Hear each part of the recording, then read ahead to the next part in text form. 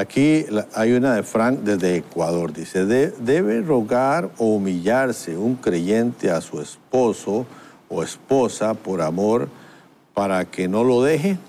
Pastora Consuelo. Yo, Este, yo no creo en ¿eh? eso.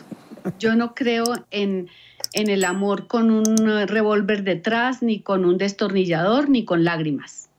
Yo no creo en eso. Yo creo que el amor se da porque, porque es que a- a la- por desdicha a la gente se le olvida por qué se casó, ¿sabían?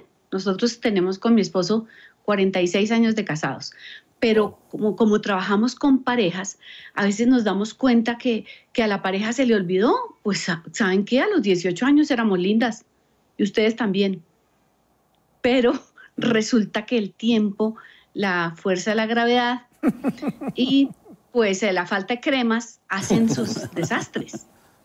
Entonces, pues uno tiene que adaptarse a que pues se puso mayor y pues la cintura ya parece el círculo de la tierra, entonces nos toca tratar de cuidarnos, pero no eso no puede determinar el amor y no creo que un amor haya que suplicarlo, ni rogarle, ni arrodillarse. Creo que eso ni siquiera es de Dios.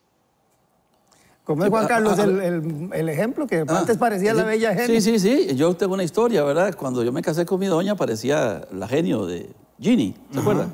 Muchachita muy delgada, se metía una botella y después se parecía más bien a la botella. Pero eh, yo creo que eso pasa, a todos nos, pasa, digamos. Yo, iba a llegar a la casa. No, pero la otra vez pues sí, No, dijiste hoy uno sí que sí, hoy que tenía la-. Yo llego a la casa con Juan Carlos. hoy. tenía- te- Aproveche el desayuno porque Dice, creo que tenía- almuerzo no va a haber. No, no.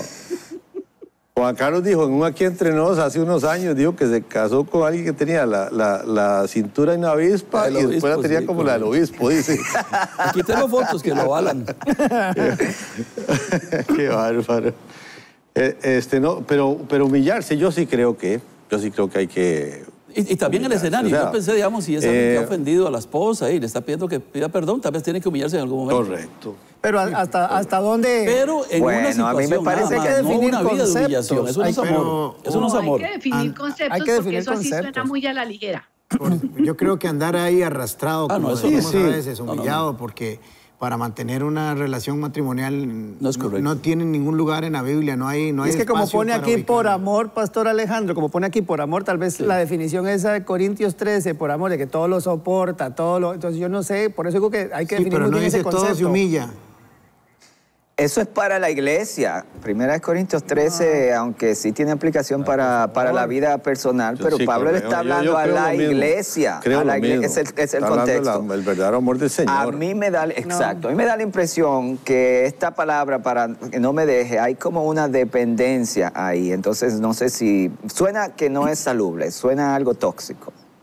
En, El que no en ama no ha conocido a. Dios porque Dios es amor. Corintios 13 es una definición de Dios de amor, pero porque también nos está dando el ejemplo a nosotros. Por eso Juan dice, el que no ama no ha conocido a Dios. ¿Cómo puede decir uno que ama a un Dios que no ha visto y no puede amar al hermano a quien ha visto? Entonces yo creo que en ese, ahí tienen que mejorar ese concepto ustedes. Así es. Pero bueno, este...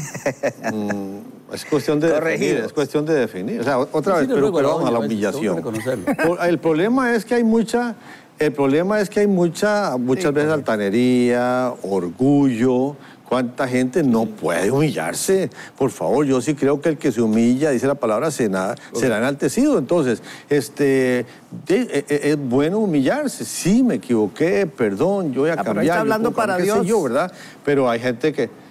eh, pero, ¿cómo está hablando para. Dios? Ah, ve, ahí Ah, sí. pero hasta cuando, ahí pero cuando está sí, hablando para ¿verdad? la Ahí iglesia, sí, ¿no? claro. Pero cua- claro, pero cuando es para la iglesia, usted dice que sí se puede aplicar. ¿verdad? Entonces, eh, ah, por eso te digo, Roger, o sea, yo creo que sí Pero- hay, pero aplica- hay para, verdades, relación, hay verdades que podemos humillarse para que no me ahí sí no estoy de acuerdo yo. O sea, yo creo que usted No, puede pero- ceder en pero- algunos pero momentos, por- e- en algún asunto. Reconocer ¿verdad? su pecado, su Ajá, error, eh, eh. Pero eh, hacer eso para que no se vaya, no, es que eso no es amor. Sí, es por ejemplo, ¿cómo aplicaría este, este no humillarse, no por ejemplo, a la hermana que dice, estoy en un tema de infidelidad? O sea, ¿hasta dónde puede Ahí ese, sí. ahí tiene Ahí que sí tener mucho acuerdo, cuidado, digamos, hasta dónde es la humildad o la, eh, la humillación lo que tenemos para que, ver es que las preguntas son muy genéricas y no conocemos los detalles y hablamos solo con lo que tenemos enfrente. Entonces no Claro. siempre tenemos todos los detalles para poder dar la respuesta al 100%. Así que tratamos con eh, la información que tenemos en el expediente. Pero entonces, en, Entonces podemos decir que a veces sí es bueno humillarse. Sí, sí, a sí, veces habrá no es bueno momentos donde-. Entonces, la- Si, si usted la se jaló una torta, como decimos los ticos, y mejor llegue humildito y en lugar de llegar altanero, llegue pidiendo Eh, disculpas. El orgullo nunca va a ser Nunca. bueno en ningún sentido. Así es. Hola, hoy quiero invitarte a que te suscribas a nuestro canal de YouTube y que puedas estar pendiente de todo el contenido que vamos a estar subiendo. No queremos que te pierdas la oportunidad de estar conectado a la palabra de Dios a través de los mensajes que tenemos aquí en nuestro canal. Así que suscríbete.